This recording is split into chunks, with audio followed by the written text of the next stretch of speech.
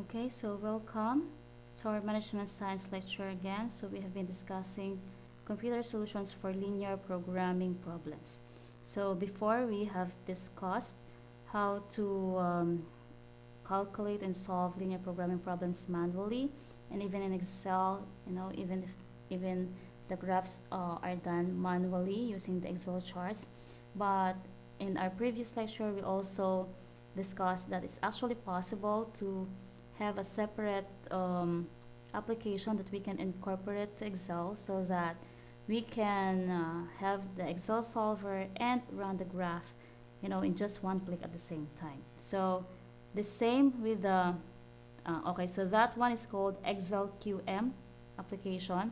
And the same with the Excel QM we have a you know the same almost the same um, application but this one is you know totally separate from the Excel. So we call that quantitative method for Windows. So let's see how it is different or how it is comparable with Excel QM so first we need to download it okay? So of course we search from our Google and we can just use the the same link or address that we use in downloading Excel QM so here down here we have the download for the QM for Windows. So I have already downloaded it so I'm not gonna repeat it but once you start the download um, the installation the installer will go of course your programs so if you just hit on that then and you know uh, until you finish the installation you will find your installed QM here. Well depending on what you choose okay? So this time we can start using the QM for Windows and this is how okay it looks like. So we have here quick start instructions but let us now start okay? So the first step is you have to select the a quantitative method that we're going to use and that is linear programming. So the same with Excel QM so this is linear programming here or we can just click from here module. So we also have the various quantitative methods. So if we click on that you know, we'll we'll have this window appear here. And just like in Excel QM so we'll just have to put the title of what of the report that we are creating. So let's base that from our example problem so this time again we are going to solve for Beaver Creek Pottery Company so let's just type there Beaver Creek Pottery Company.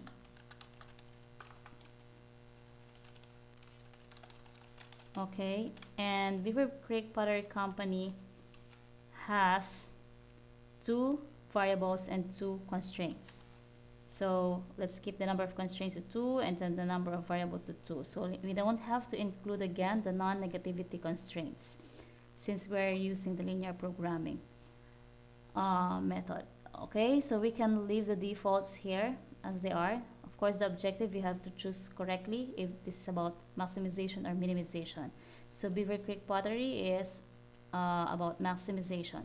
We can just click OK here and we have our table here just like how Excel QM provided it for us. So we can just um, edit the numbers in here. Also we can you know fix this. If you want let's say this to x and y we can do it. All right and then uh, maximize. What what do we want to maximize? So our coefficients for our profit is 40 and 50 so basically your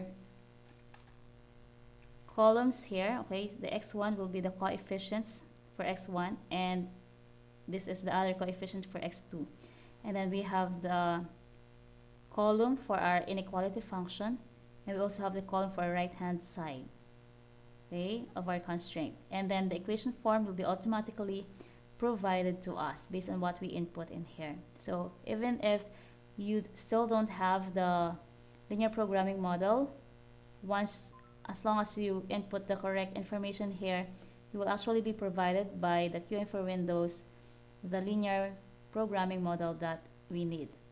Okay so for the constraint we can actually edit this. So let's say our first constraint is labor. And then that is 1 and 2 coefficients. And then that is less than or equal to 40 this is already okay. So we just type 40 here on the right side hand side. And then we have clay and we have 4 and 3 as our coefficients. And we have less than or equal to as our inequality function. And our right hand side is 120 okay so you see here um, our equations are provided to us and it's actually the same with this. So to solve this we can hit on solve. And there it is we're already provided with a solution okay? 24 for x1 and um, 8 for x2 and our uh, maximized profit will be 1360 okay? So there are other information here but there are also uh, a set here of the solutions. Actually these are just you know small parts of this.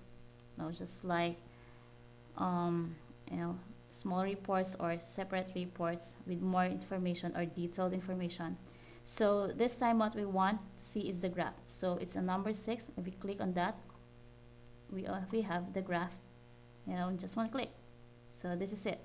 So just like in Excel QM okay we are provided here on the right side the um, constraint display okay? So our constraint lines and also our profit line so and then our optimal solution uh, actually these are points constraint points and where um, our optimal solution is being chosen. Okay so first is if it is 0 and 20 okay so we have it here. So that will be 1000 in profit. And if our x1 is 30 sorry this is 0 and 20 and then if we have 30 for x1 this is it. And 0 for x2 we'll get 1200 and then the other point we have is uh, 24 and 8 so we'll get 1360 so QM for Windows has automatically chosen um, this point for us as our optimal solution. Okay? So easy so uh, let's try to solve another one. Okay so we just we can save it or not save it. So let's click on new. I want to save it so okay. So let's say um, let's solve for Flair Furniture.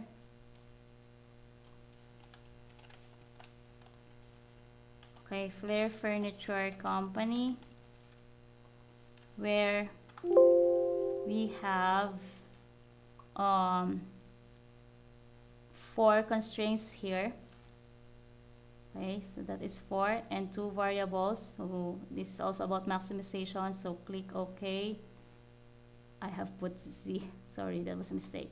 And we can just enter again our coefficients here 7 and 5 okay and then our constraint is 3 and 4 for carpentry. And this is less than or equal to 2400 our next constraint is painting where we have 2 and 1 as our coefficients. This is also less than or equal to 1000 we have our next constraint that is minimum table. So we'll put 1 here 0 for x2 and then this should be greater than or equal to okay greater or equal to 100 and then we have maximum chairs. So x1 is 0 x2 is 1 and we have this less than or equal to function and 450 as our right hand side and that's it okay so this is our uh, linear programming model. So it should be the same as we have it here. So by the way, if you want to change our value, um, you know, the letters here, we can change it to T and C. So let's just change it to T. You can change it to C. So no problem, right? And then this is good. We can hit solve and there it is. We have 320 and 360 profit of 4040 and then when we hit on graph then we should be able to see the same graph as we have solved it before and here on the right side we have already the optimal solution so these are feasible region these are feasible corner points and we have here highlighted the optimal solution. Okay that's it. And let's just solve another one last one for the minimization okay which we will base on the holiday meal turkey ranch. Turkey ranch okay? So you see it's very easy with all this uh, application. So we have two variables and three um, constraints excluding the non-negativity. So let's adjust it to three. And now our objective is minimize. Okay we can just leave all the rest like that since we can edit it anyway. So first coefficient for our uh, objective function is 0.10 and 0.15 okay? By the way we want to change um, this to a and b instead of x1 okay so we can change like that. First constraint is for protein and that is 5 and 10 coefficients less than or equal to 45 and then for vitamin we have 4 and 3 less than or equal to 24 and then we have iron which is 0.5a 0 of b and that is less than or uh, greater than or equal to 1.5 and there it is. Okay so it should be the same. And click on solve. We already have here 4.2 for A 2.4 for B with uh, 78 cents of our minimized cost which is our optimal solution if we hit on graph then we should be able to get the same graph okay? And we have here highlighted our optimal solution. So this is it for using QM for Windows right? So thank you and God bless you. This uh, almost concludes our um, you know topic for linear programming on computer solutions and also the graphical solutions okay Thank you. God bless you.